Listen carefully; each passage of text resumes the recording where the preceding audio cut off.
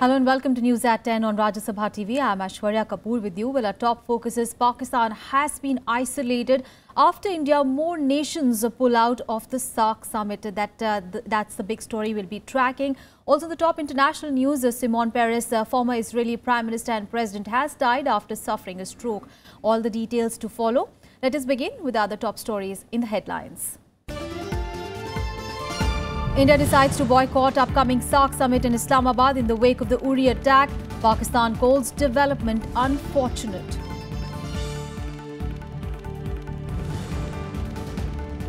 Pakistan says revocation of Indus Waters Treaty will be treated as an act of war.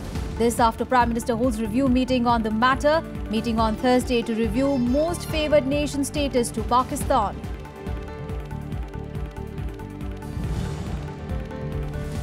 India and Nigeria sign MOU on development of bilateral trade during Vice President's visit. Mohammed Hamid Ansari underscores need uh, to synergize its growth strategies with Nigeria in the backdrop of global financial situation.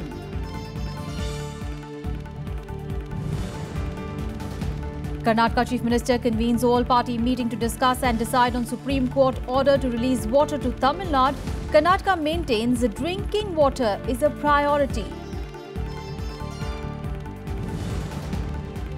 And one of Israel's defining political figures, Shimon Peres, is no more. Nobel laureate suffered a stroke two weeks ago. He was 93.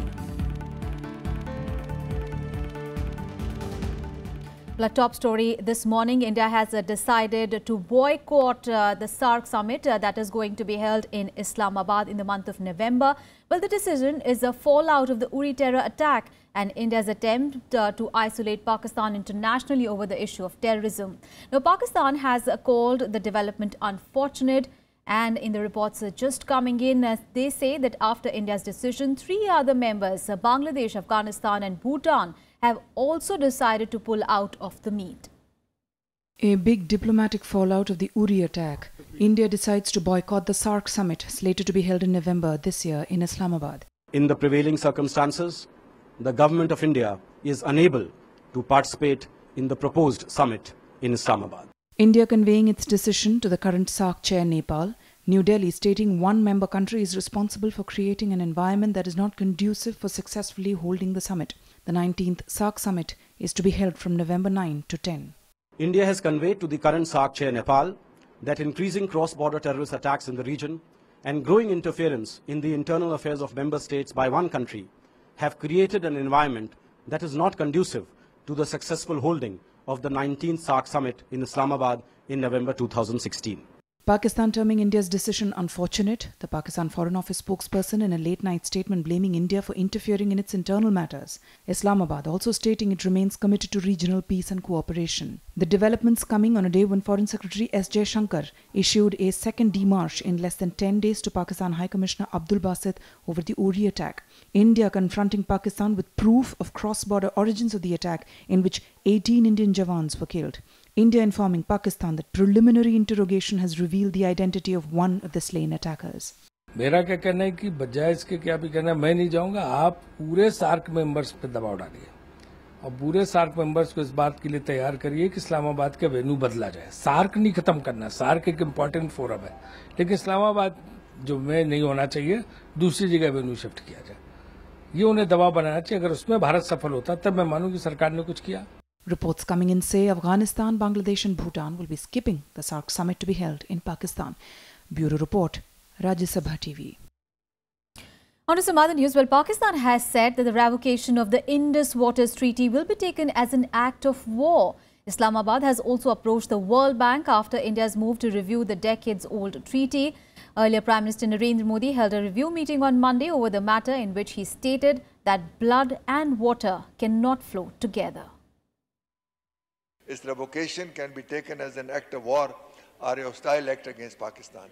It is highly irresponsible on part of India to even consider revocation of the Indus Water Treaty. Unilateral revocation of IWT can pose a, a threat to Pakistan and its economy.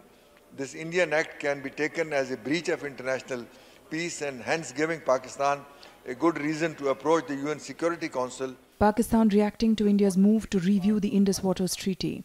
Prime Minister Narendra Modi had chaired a high level meeting on Monday to review the decades old treaty in which he said blood and water can't flow together. Pakistan alleging the threats are a tactic by New Delhi to divert attention from the issues in Kashmir. The provocative statements and actions from the Indian uh, leadership to, for uh, considering unilateral revocation of the Indus Water Treaty are a blatant violation of international law and also constitute a breach of the Indus Water Treaty.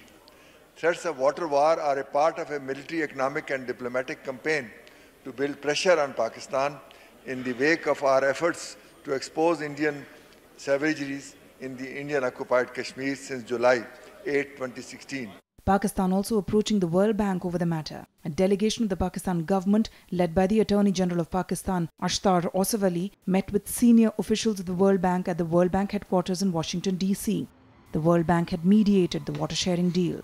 जंग हल नहीं है मसले का ये ऐसी statements देनी भी नहीं चाहिए कि ये जी इंडस वाटर ट्रीटी से हम पीछे निकल जाएंगे क्या वो समझेंगे कि आप पानी अगर बंद कर दिया तो लोग चुप करके बैठे रहेंगे इसका बहुत बड़ा रिएक्शन आएगा under the treaty, which was signed by then Prime Minister Jawaharlal Nehru and then Pakistani President Ayub Khan in September 1960, waters of six rivers Beas, Ravi, Satluj, Indus, Chenab, and Jhelum were to be shared between the two countries. The treaty provides specific design criteria for any hydroelectric power plants to be built by India. Pakistan has held the position that the Kishanganga and Ratle hydroelectric plants violate the design parameters of the treaty. There has been pressure in India to reconsider the treaty in the wake of the Uri attack. Bureau Report, Rajya Sabha TV. Meanwhile, India is also exerting pressure on Pakistan with the possibility of uh, withdrawing the most favoured nation status to the neighbour. To put this into effect, Prime Minister Narendra Modi has called a meeting of top government officials on Thursday. Now, if uh, India does revoke the MFN or the most favoured nation status given to Pakistan, it will mean diminished imports from that country. Here are all the details. Tightening the screws on Pakistan. A day after he reviewed the Indus Waters Treaty, Prime Minister Narendra Modi has called for another high level meeting on Thursday. This time to take a good hard look at the most favored nation status granted to Pakistan. The high level meeting will have top officials of the PMO, the MEA, and the Commerce Ministry. India gave Pakistan the most favored nation status in 1996. Pakistan did agree to reciprocate at a secretary level agreement in 2012 but so far it has not kept its promise. Although experts say that even if India withdraws the status, the impact will be mainly symbolic, since bilateral trade between the neighbors represents only a fraction of India's overall goods trade.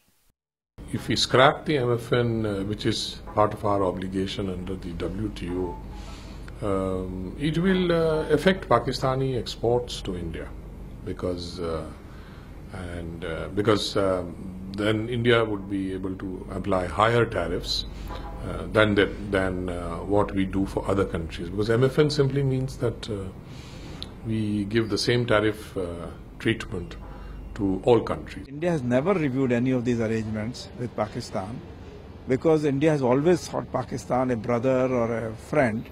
And in order to increase the relationships among the uh, SAARC countries, they gave the unilaterally the MFN treatment to Pakistan.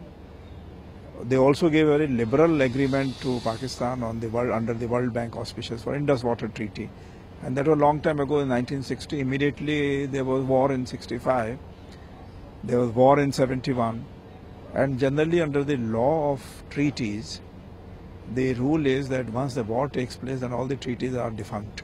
After that, everything has to be reviewed. We have never done that. So it is really a unilateral gesture which has been going on on the part of India. So we have for the first time we feel that it should be uh, necessary to review all these arrangements and see what will be in the interest of India, what will be the interest of the region and what will be India's obligations to the international community. Opposition parties however say withdrawing the MFN status might not be enough. The Congress is calling for imposition of economic sanctions as well on Pakistan. We've heard a lot of uh, speeches, rhetorics, meetings, visual of meetings, and unofficial press briefings. What is the concrete action being taken against Prime Minister is what India wants to understand and know from the Prime Minister. We had pointed out on day one three actions needs to be taken. Isolate Pakistan diplomatically, ensure economic sanctions come from countries which are, uh, are financing Pakistan. Thirdly, ensure that there is a decisive, specific, precise and a proper and a fitting strategic response. Modi government has failed to do all three. The MFN status allows Pakistan give equal treatment in terms of trading prices or tariffs and market access without discrimination in imports and exports.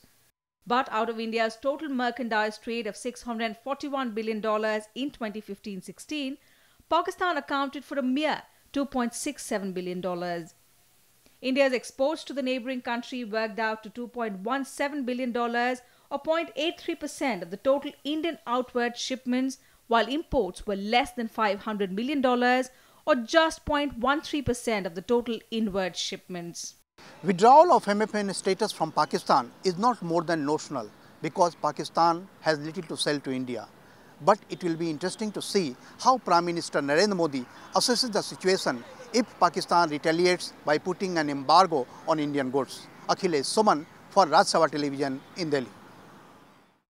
On to some other news. Well, India and China on Tuesday held talks on enhancing cooperation on counter-terrorism as officials from both the countries met in their first high-level dialogue in Beijing. Well, the meeting comes 10 days after a terror attack at the army base in Jammu and Kashmir's Uri district in which 18 Indian soldiers were killed. The meeting was co-chaired by R.N. Ravi, chairman of uh, the Joint Intelligence Committee, and Wang Yongqing, uh, the Secretary General of the Central Political and Legal Affairs Commission of China. Well, the two sides exchanged views on the international and regional security situation. They also shared information on respective policies, systems and legislation to deal with terrorism, further enhancing their understanding on issues of major concerns to both the sides. And India has urged Nigeria to use its influence as a member of the Organization of Islamic Cooperation to speak against terrorism in the world. Now, Vice President Muhammad Hamid Ansari, who is in Nigeria, said that terrorist networks are becoming global networks and there is a need to have a solid system in place on exchange of information. Now, international organization OIC consists of 57 Muslim states, including Nigeria and Pakistan. Meanwhile, India and Nigeria signed an MOU on development of bilateral trade on Tuesday. Here are the details. On OIC, well, President made a very strong pitch uh, and he said that uh, Nigeria, as an influential member of OIC, needs to speak up, like all other members need to speak up at OIC, so that the entire agenda and the, and the discourse is not sort of hijacked by one uh, interested party. Underscoring the need for economic cooperation for development, Vice President Mohammad Hamid Ansari on Tuesday said India and Nigeria should work together to synergize their growth strategies for positive economic growth. At the Nigeria-India Forum in capital Abuja, the Vice President called Nigeria an important partner for India's energy security requirement. India is the largest buyer of crude oil from the African nation, with more than 100 Indian companies importing about 12% of India's crude oil requirement. There are significant potential for diversifying our engagement in oil and gas sectors by enhancing our cooperation in both upstream and downstream domains. Ansari pitched for foreign investment opportunities in India, hailing India's initiatives like smart city projects and Digital India along with 7% economic growth in the last quarter. The Vice President also emphasized on the need for expanding trade in the areas of automobiles, information technology, pharmaceuticals, biotechnology and healthcare sectors. Nigerian President Muhammadu Buhari welcomed the proposed investment of 5 billion US dollars in the Nigerian economy by India. India and Nigeria also signed an agreement to improve bilateral trade. It is a matter of satisfaction that for the last few years, India has been the largest trading partner of Nigeria and Nigeria is the largest trading partner of India in Africa.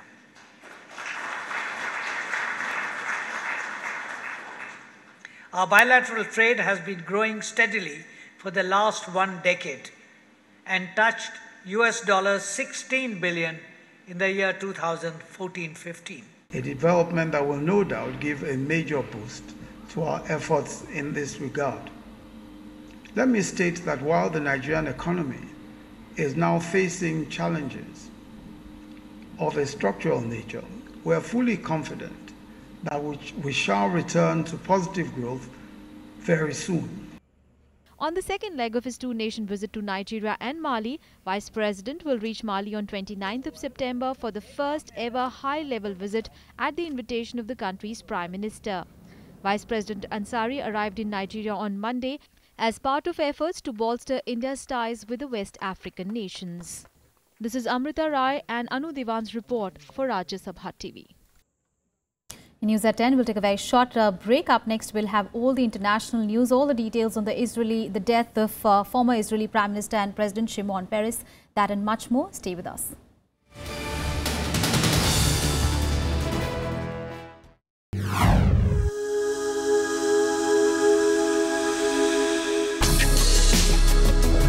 Tales that inspire. Stories of social change a salute to diversity, promoting public discourse,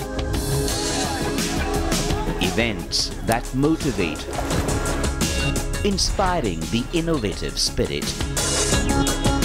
Watch Rajya Sabha television documentaries.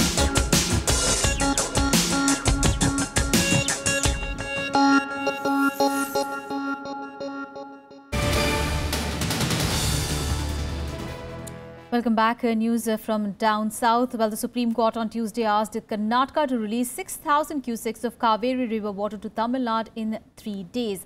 Now, reserving uh, is a reaction to the Supreme Court's directions. Karnataka Chief Minister said that he would consult legal experts and he maintained that drinking water is a priority for his state.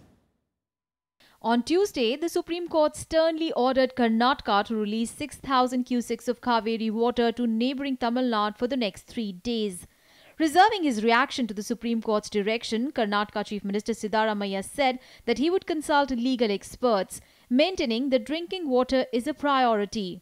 According to sources, the Chief Minister has convened a meeting of floor leaders of both the houses, MPs and legislators and district in charge ministers today to take stock of the fresh development. I have to speak to my legal team and the technical experts and also other people. Without talking to them, it is not ಇಲ್ಲ ಈಗ ಹೋಗಿ ಮಾತಾಡ್ತೀನಿ ನಾನು ಬೀದರ್ಗೆ ಹೋದ್ಮೇಲೆ I will talk to them in Tamil Nadu, Chief Minister Jayalalitha held a meeting with ministers and top officials at Chennai's Apollo Hospital where she is admitted since last week. The meeting was to discuss her government's response to the ongoing dispute. She has now deputed the state's Public Works Department minister to attend a meeting on her behalf with Karnataka Chief Minister Siddaramaiah as ordered by the Supreme Court. The court has ordered the meeting by Friday. Supreme Court has uh, uh, condemn the Karnataka government, the verdict of the uh, Supreme Court should be respected. That is the uh, message which we were also requesting. Earlier, Karnataka continued to argue that it cannot release water. The government claims that its cities are in danger of running out of drinking water while promising to spare water for Tamil Nadu only in December. We appeal to the Supreme Court again saying that it is not possible to comply with the uh, order of the Supreme Court uh, as there is no sufficient water. This is the situation where the people of Karnataka are in huge distress. So that, that is why we, we have gone ahead with this modified petition requesting them to modify their order, looking at the ground realities. And also we are requesting, we are saying that we will not, it's not that we are saying we will not release the water. We will, but give us an extension by the end of the season, uh, because anyway there may be some more rains. Uh, uh, as, as, as and when the rains come, by the end of the season, by December, we will release the required quota of water. The division of the Kaveri water that originates in Karnataka but flows into Tamil Nadu has locked both states in a conflict for several decades. But the latest agitation began on 5th of September when the Supreme Court agreed that Tamil Nadu should get more water than it had been receiving so far to help its farmers. Bureau Report, Rajya Sabha TV. Well, on to some other news. Lauding the progress achieved so far on the GST implementation, Finance Minister Arun Jaitley on Tuesday exuded confidence that it is reasonably possible to meet the 1st of April next year deadline to roll out the new indirect tax regime. And noting that states have realized the importance of competitiveness and attracting investments, Jaitley said that getting the GST through was troublesome as it involved completely changing the powers of the union and the states. The GST Council has um, the mandate to look into issues of dual control and threshold rates, uh, with the states demanding that they be given the legal and administrative powers for imposing tax on entities with a turnover of up to 1.5 crore rupees. The GST Council met on uh, 21st and 22nd of September and decided on many issues, barring the rates on which they will meet from 17th of October and they hope to finalize by November. The GST Council is chaired by Arun Jaitley and has his junior in charge of the Revenue and State Finance Ministers as members. Meanwhile, the government is planning to introduce GST legislation, central GST and integrated GST in the winter session of Parliament that starts in November. And Finance Minister Arun Jaitley on Tuesday also said that the amendments to the Prevention of Corruption Act will give more room to public servants, including bank officials, to take decisions confidently. He said uh, that the law which deals with accountability of public servants is in the final stage of its amending process. It is before the standing committee and uh, and uh, he hoped that in the next session it comes up. Jaitley, while addressing SBI's banking and economics conclave in Mumbai, also said that the lack of decision-making and consensus is a hampering banks. On to some international news. Well, it was the most watched presidential debate in history, which saw flamboyant Donald Trump forced on the defensive by Democratic rival Hillary Clinton for much of the 90-minute showdown at Hofstra University. But uh, with two more debates still to go and also the unpredictable nature of the 2016 presidential campaign so far, pundits say that Trump can still make a comeback ahead of the 8th of November US presidential election. I think Donald just criticized me for preparing for this debate. And yes, I did. And you know what else I prepared for? I prepared to be president. And I think that's a good thing. One of the hotly contested moments of the first of the three US caught 84 million Americans at home saw not only arguments on various policy issues but was full of personal attacks as well. She doesn't have the look, she doesn't have the stamina I said she doesn't have the stamina. And I don't believe she does have the stamina. To be president of this country, you need tremendous stamina. One of the worst things he said was about a woman in a beauty contest. He called this woman Miss Piggy. Then he called her Miss Housekeeping because she was Latina. A CNN poll taken after the debate found that 62% of the voters who had watched the head-to-head thought that Democratic Hillary Clinton came out on top, with just 27% giving it to Republican Donald Trump. It was a clear win for Hillary Clinton, or perhaps a clear loss for Donald Trump may be the best way to put it. With the truth, even arguing with the moderator when the moderator caught him on a falsehood that he was always against going into Iraq. He didn't have any grasp of policy or details. He showed himself to have a very thin temperament. Worse for Donald Trump, the billionaire businessman was being seen as a bad loser after he accused moderator Lester Holt of being tougher on him and complained that his microphone was terrible and crackled and that his volume was lower than Hillary's microphone. Uh, I was a little bit upset that the microphone in the room wasn't working properly. What do you mean? Uh, the microphone in the room wasn't working. Despite being much talked about all over the world, most of the Americans expressed discontent with the debate, saying that there was less emphasis on policy issues. Again, some of their behavior is a bit childish, um, maybe uh, unfounded, and I think they focus on on minutia rather than um, really getting to answers on the key facts that you know we need to address. The debate with 84 million viewers fell short of the 100 million viewers some had predicted, but broke the record of 80.6 million viewers who had tuned in for the 1980 presidential debate between Jimmy Carter and Ronald Reagan. This debate may have knocked Donald Trump sideways, but not out of the race for the White House. Experts say the unpredictable nature of 2016 race leaves much to be decided with two more debates in October. Bureau Report, Rajya Sabha TV. Looking forward uh, to the next two debates as well. Meanwhile, more news from the US. Uh, the senators there will cast their vote today to override President Barack Obama's veto of legislation on the Saudi 9-11 bill. The bill would allow the families of the victims of the September 11, 2001 attacks to sue the Saudi Arabian government now, this is going to be the first action by an attempt uh, by the lawmakers to override Obama's uh, 23rd of September veto of the Justification Against uh, Sponsors of Terrorism Act. A successful override requires the support from two-thirds of the lawmakers in both the Senate and House of Representatives, which are controlled by Republicans. In the 9-11 attack, 15 of the 19 hijackers were Saudi nationals.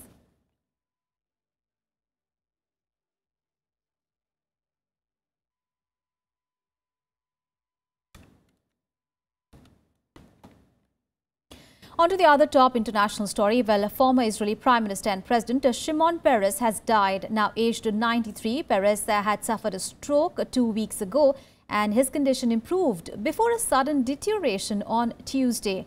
Now, one of Israel's uh, defining political figures, Peres, was one of the last of the generation of Israeli politicians present at uh, the new nation's birth in 1948. He was one of the key architects of the Oslo Peace Accords for, hit, for which uh, he was uh, jointly awarded the Nobel Peace Prize with the then Israeli Prime Minister Yitzhak Rabin and Yasser Arafat, who was the chairman of the Palestinian Liberation Organization. First elected to the Israeli parliament in 1959, Peres' cabinet uh, roles included uh, the defense, finance and foreign affairs portfolios before he served two brief periods as the prime minister. He also became the country's president, uh, serving a seven-year term from 2007 to 2014. Even after his presidential term ended, Peres remained a high-profile figure who continued to make interventions on the country's political direction. Some more international stories in World Wrap. Suicide bombers have killed at least uh, 17 people and wounded more than 50 in Shia areas of the Iraqi capital, Baghdad.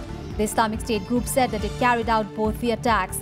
A bomber killed at least 8 people and wounded 29 in Jadida district. At least 9 were dead and 30 were injured in another attack in Baya area. Islamic State has intensified bomb attacks in government-held areas this year as it loses territory to US-backed Iraqi government forces and Iranian-backed Shiite militias.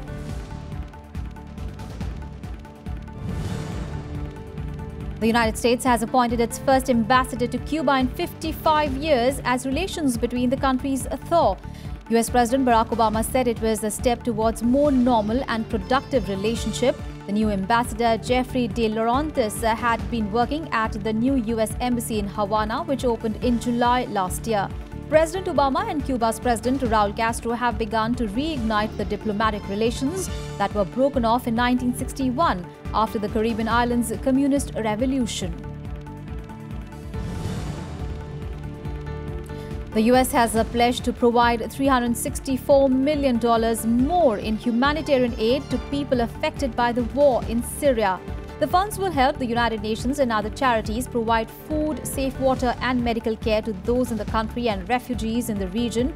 Meanwhile, Syrian forces have made advances in the center of Aleppo after days of heavy strikes. And the World Health Organization has called for safe evacuation routes out of the city for the injured and the sick. And the Sri Lankan police have exhumed the body of a prominent newspaper editor as part of a new investigation into his murder. Lasantha Vikram Matunge was the editor of the Sunday Leader, which was critical of the then President Mahinda Rajapakse. Well, that's it uh, from me and my team in this edition of News. But news and updates continue on Rajya Sabha TV. Thanks for watching.